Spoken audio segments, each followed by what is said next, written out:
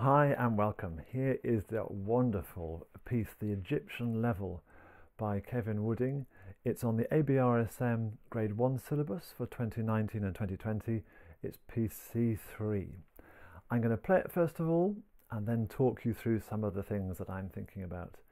And I know James is playing this piece. Good luck with this one, James.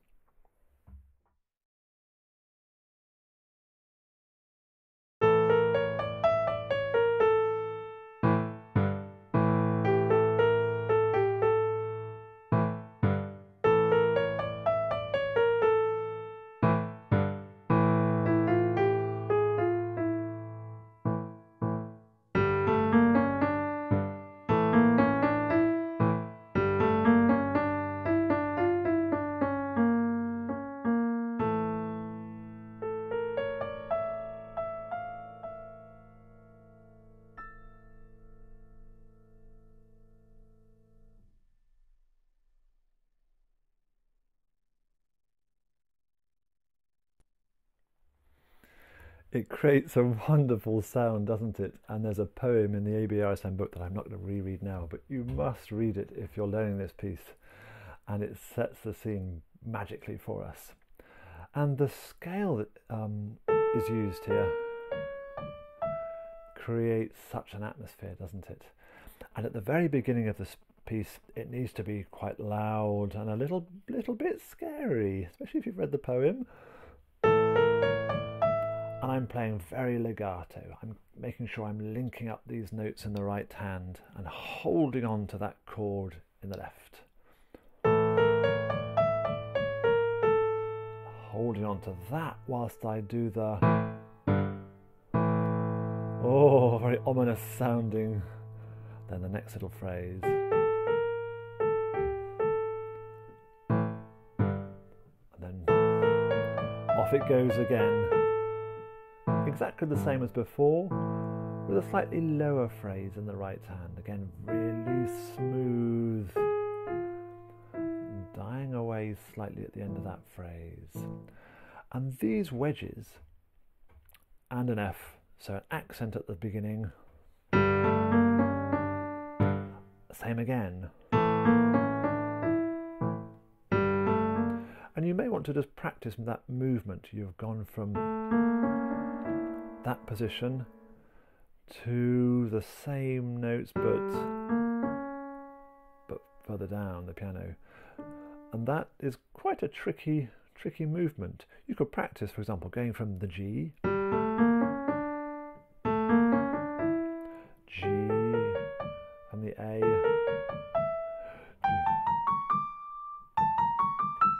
Could I do it walking down the scale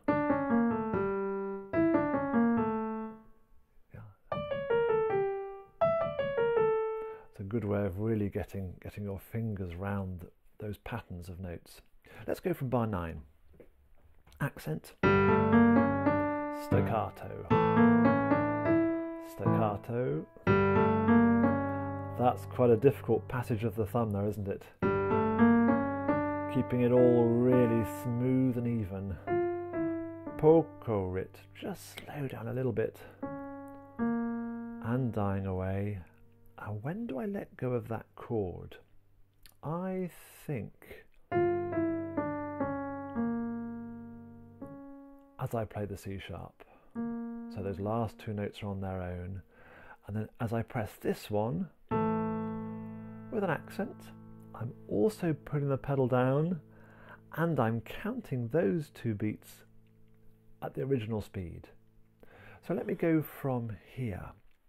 And I'm going to go, slowly for now. I'm going to count the beats.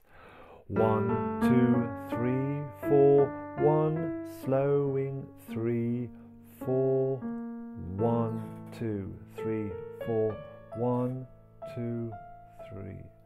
So in bar 13, I counted them back at the original speed, and in bar 12 and in bar 14, I stretched the timing, I slowed down a little bit.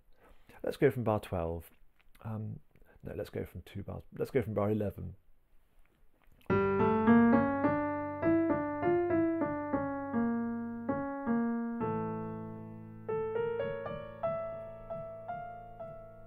And and then go and grab these notes.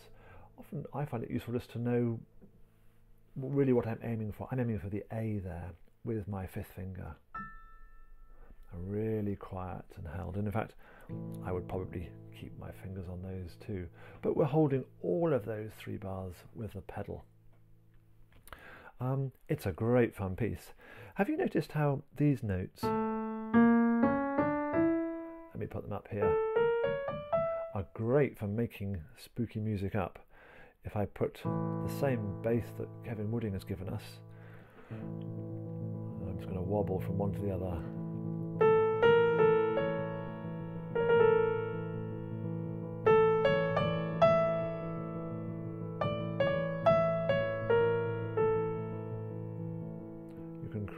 Some wonderful sounds there. Perhaps just holding on to that. And another great one, that's sort of A major, isn't it? With a flattened second note. Another one would be A minor with a raised fourth. Ooh, if you're feeling brave.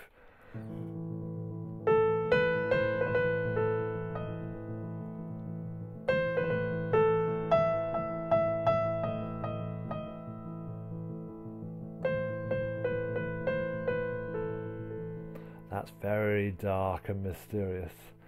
And that is the scale that a composer, Erik Satie, he loved very much that one. And he would put an F sharp in as well.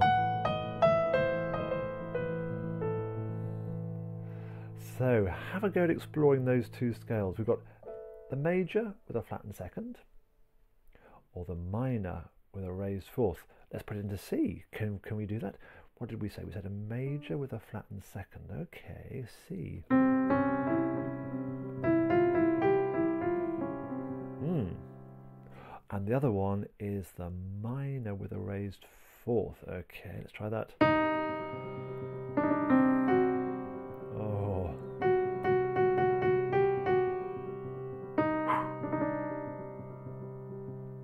It's very ominous. You think something dreadful is going to happen have fun exploring those scales. Any questions, do come back to me. Bye bye for now.